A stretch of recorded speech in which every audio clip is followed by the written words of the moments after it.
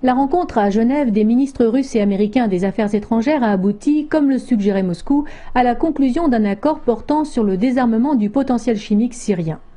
Pour la première fois depuis deux ans, l'initiative diplomatique de la Russie permet d'entrevoir une issue politique à la crise syrienne, tout en permettant au président Obama de sortir de l'impasse dans laquelle il s'était fourvoyé sur l'insistance de la France. Jusqu'à présent, toutes les propositions formulées par Moscou ou Damas étaient systématiquement rejetées. Cet accord, s'il est suivi des faits, démontre qu'il y a de moins en moins de raisons d'entamer une opération militaire en Syrie qui placerait les États-Unis, la France et leurs alliés hors la loi du droit international. Or, depuis les pseudo-charniers ou les fausses preuves présentées par l'ONU pour justifier l'invasion du Kosovo, comme de l'Irak et plus récemment le démembrement de la Libye, il existe une tactique avérée de manipulation de l'information dont usent sans vergogne les puissants atlantistes. On connaît également les raisons plus matérialistes et géostratégiques que philanthropiques qui poussent les États-Unis, la Grande-Bretagne, la Turquie, Israël et les dictatures du Golfe Persique à s'associer contre la Syrie de Bachar el-Assad. Mais ce que l'on ne comprend pas bien, c'est l'intérêt français. Et malgré l'isolement de plus en plus manifeste de Paris, la valse des va en guerre venue prêter main forte à Laurent Fabius, qui peine à convaincre les Français massivement opposés à une intervention militaire, suit son cours dans les médias. Un imposteur chassant l'autre, après l'inénarrable vampire des carpettes BHL, voici le retour inattendu de son insupportable alter ego, le boucher des Balkans, Bernard Kouchner. Alors que l'ONU n'a pas rendu son rapport et que l'absence de présentation de preuves objectives ne permet pas d'imputer quoi que ce soit au pouvoir de Bachar el-Assad, il interprète sans vergogne son éternel numéro de dénonciateur de salauds et accuse les partisans d'une solution diplomatique de soutenir un dictateur qui gaze des enfants. Rien que cela. Bien sûr, aucun journaliste français n'a osé l'interroger sur son implication dans le trafic d'organes entre l'Albanie et Israël, qu'il couvrit volontairement ou non de son autorité de Gauleiter du Kosovo sous occupation américaine. Ces crimes ont pourtant été dénoncés par l'ancien procureur du TPI, Carla Del Ponte, celle-là même qui accuse aujourd'hui les rebelles syriens d'être les utilisateurs de gaz sarin. Laurent Fabius, BHL et Bernard Kouchner forment un trio confraternel infernal sorti d'un nouveau bal des vampires, sûr d'eux-mêmes et dominateurs, parlant au nom de la France et du peuple français tout en lui déniant le droit de penser ou d'agir autrement. Douze ans après les événements du 11 septembre qui ont justifié une fantastique opération militaire permettant aux Américains de multiplier leurs bases en Afrique, en Asie et en Orient, la paix mondiale demeure fragile.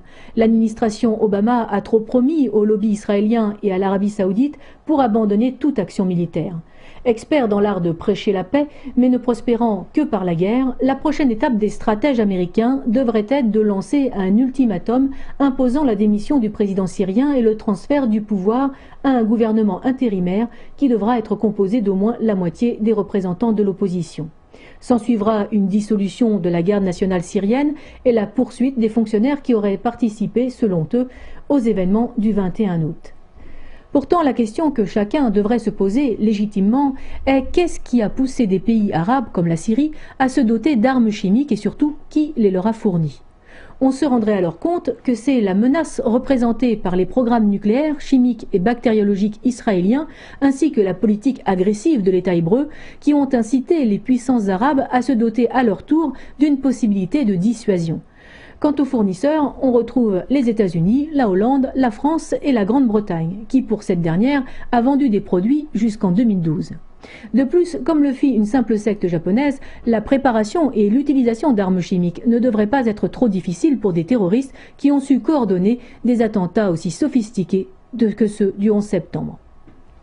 Sachant qu'il n'aura fallu que deux ans et de simples présomptions pour rassembler une force militaire conséquente, en vue de faire plier Damas, pourquoi ne pas profiter de la présence des flottes américaines, russes et bientôt chinoises pour contraindre Tel Aviv d'abandonner à son tour son stock d'armes de destruction massive? De même, il serait aisé d'imposer les résolutions bafouées de l'ONU qui visaient à libérer les territoires occupés et colonisés illégalement une situation qui perturbe les relations internationales depuis près de 60 ans.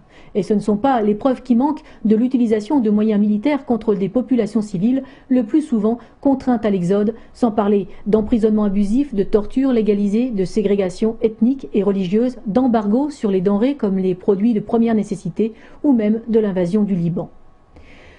Cette singularité incompréhensible est due à une conception tortueuse du droit international et à des mensonges d'État relayés par les pouvoirs politiques comme médiatiques. À moins que, pour une raison ignorée, certains États ne soient au-dessus des lois. C'est peut-être cette fameuse exception à laquelle faisait référence le président Obama. Une conception que ne partage pas la Russie, qui ne voit pas de différence entre les nations et qui, comme le poète Victor Hugo, estime que la première égalité, c'est l'équité.